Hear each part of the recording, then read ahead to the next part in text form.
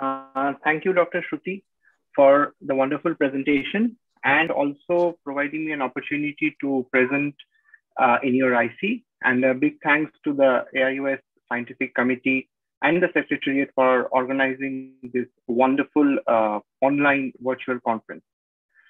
So uh, I'll be speaking on congenital optic disc anomalies. So my screen is visible, Dr. Shruti? Yes, sir. Yeah, yeah, visible. Yeah, thank you. So now just let's touch upon the development of the eye, which starts at uh, day 22 from an outpouching of the diencephalon.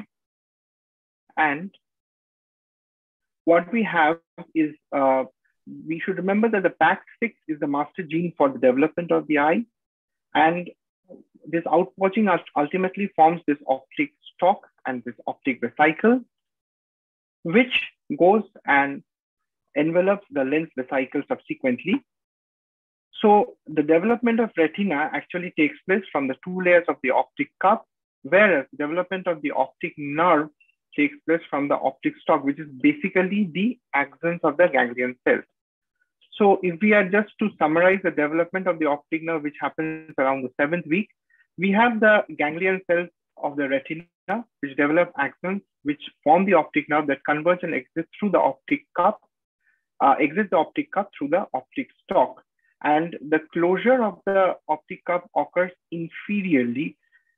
So the inner layer of the optic stalk encroaches on the cavity of it until the inner and the outer layer fuse inferiorly and the cavity of the optic stalk disappears.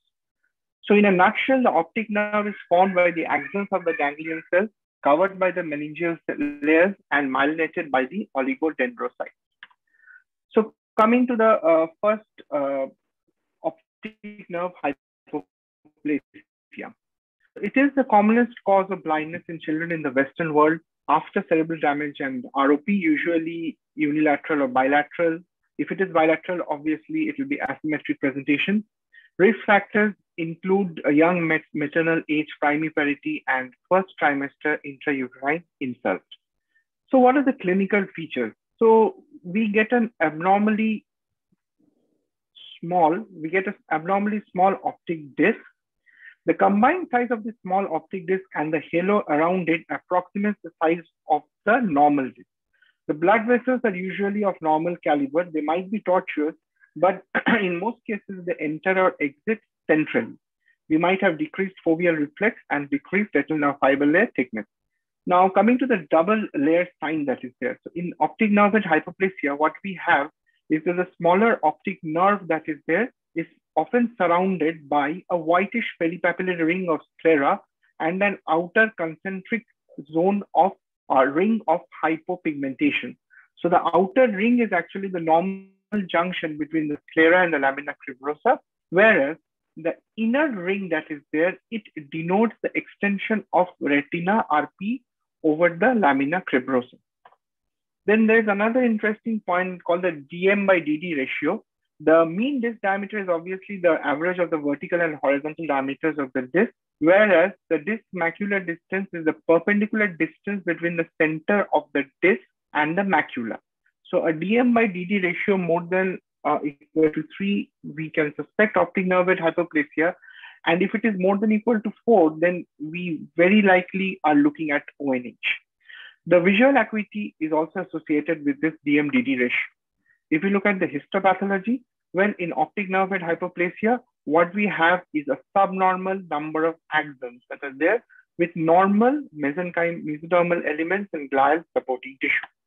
So signs and symptoms severe blindness, uh, severe bilateral cases, blindness is there in early infancy with roving eye movements or nystagmus.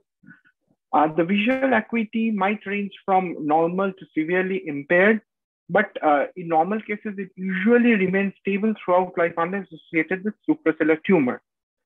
And RAPD may be present. Bilateral cases, all we might end up getting is a sluggish light response. Localized visual field defects are very common in optic nerve and hypoplasia. There's an entity called superior segmental optic nerve hypoplasia or the topless disc syndrome where we get this inferior hemifield disc like this. MRI, in isolated optic nerve hypoplasia, we will get a reduction in the diameter of the optic uh, hyperplastic optic nerve. Here in both the sides, we see that the diameter is reduced and we might also have an absent septum pellucidum. Uh, then there might be syndromic manifestations like we have the septo-optic dysplasia, which is a triad of uh, optic nerve with with absence of septum pellucidum and or partial or complete agenesis of corpus callosum along with pituitary dwarfism. And uh, the other entity, early onset periventricular leukomalacia, may also be associated with optic nerve with hypoplasia. Coming to the next entity, the morning glory disc anomaly, it's a congenital optic disc dysplasia in which a conical excavation of the posterior fundus includes the optic disc and it is filled with glial tissue. It's usually a unilateral sporadic condition, more common in females, and it is called so because it resembles the morning glory disc flower. Pathogenesis, uh, many theories, but mainly it is the failure of the closure of the fetal fissure, fissure and therefore it's a variant of, uh, considered to be a variant of optic nerve coloboma. Clinical features, uh, we have a funnel-shaped and enlarged dysplastic disc with white tissue and retinal vessels. They arise from the periphery in a spoke wheel pattern. Visual acuity is variable. It is usually low may be associated with serous or rhegmatogenous retinal detachment and multiple intracranial disorders as well. Coming to the third entity, the optic disc coloboma might be unilateral or bilateral, may be associated with a PAX2 mutation. Pathogenesis, once again, is the incomplete or abnormal apposition of the proximal ends of the embryonic fissure. So clinically, we have a typically enlarged disc with sharply demarcated focal glistening bowl-shaped excavation of the optic disc uh, it occupies the lower part of the optic disc where actually the, uh, the fusion of the fissure would have occurred. And the neuroretinal rim is usually absent inferiorly, but is identifiable superiorly. So this is how an optic disc uh, coloboma would look like on FSA. Visual acuity would be variable, minimally affected in most cases. Um, Associations might be associated with microphthalmus, various other colobomas of the eye, and syndrome, systemic associations like the CHARGE uh, syndrome might be there. Now, coming to the next entity, the optic nerve pit. Uh, it may be associated with juxtapapillary uh, serous retinal detachment and may be bilateral in 10 to 15% of cases. So it's basically a herniation of the dysplastic retina into a collagen lined pocket extending posteriorly into the subarachnoid space through a defect in the lamina cribrosa. So uh, basically, the visual the visual acuity usually depends on the amount of serous macular detachment. So this is basically an optic disc pit with serous macular detachment. Uh, associations, one third to two third present with these sort of detachments, which are commoner in 20 to 40 years of age. Now, what is important is that the fluid initially transits from the pit into the outer retina and then spreads either or both into the subretinal space or the inner retina. So we might have a variety of OCT findings, like we might have inner retinal fluid, outer retinal fluid, outer uh, uh, macular hole, and we might have subretinal fluid. So regarding the origin of fluid, there, have, there are various theories like it might be CSF, it might be liquefied vitreous, or it might be leakage from choroidal vessels. Treatment, observation, laser photocoagulation and gas tamponade with laser photocoagulation were earlier tried, but nowadays most uh, recent studies do indicate that the most viable treatment plan would be a PPV combined with laser photocoagulation and gas tamponade. The other entity that we can talk about is the megalopapilla, which is an abnormally large optic disc. Uh, but what is important is the visual acuity is mostly normal, no vertical notching, and the ganglion, the RNFL thinning might be there, but the ganglion cell complex thickness is always normal in megalopapilla. We might also come across congenital tilted disc syndromes of the Fuchs coloboma, wherein the superior-temporal optic disc is elevated and the inferonasal disc is distressed posteriorly, which results in an optic disc of oval appearance with its long axis obliquely oriented. May be associated with the torsional disc also, and field defects, in, uh, this is very important. We do get bitemporal hemiano, uh, hemianopias in tilted disc syndrome, which primarily involve the supratemporal quadrant. But what is most important, unlike trigeminal lesions, these do not strictly respect the vertical midline and repeat testing with adequate refractive correction may actually eliminate the field defect. Then there might be um, less common entities like the congenital optic disc pigmentation.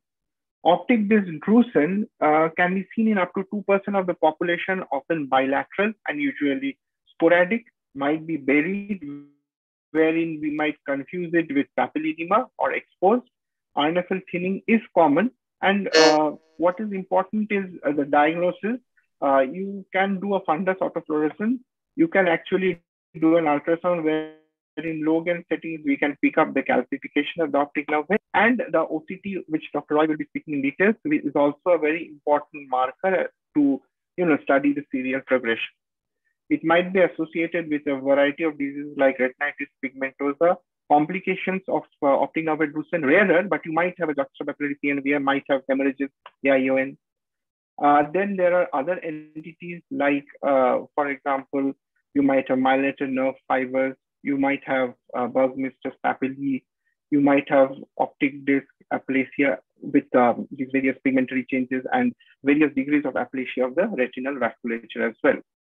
Finally, my last slide, uh, rehabilitation of a child with visual impairment due to congenital optic nerve anomalies. This is actually very important. Optimizing visual function, correcting the refractive error at the earliest and patching if there is amblyopia, working with the parents, breaking the news to them, making them understand the gravity of the situation, measuring the visual function and working within visual limits. Language framework required to compensate for reduced vision should be established.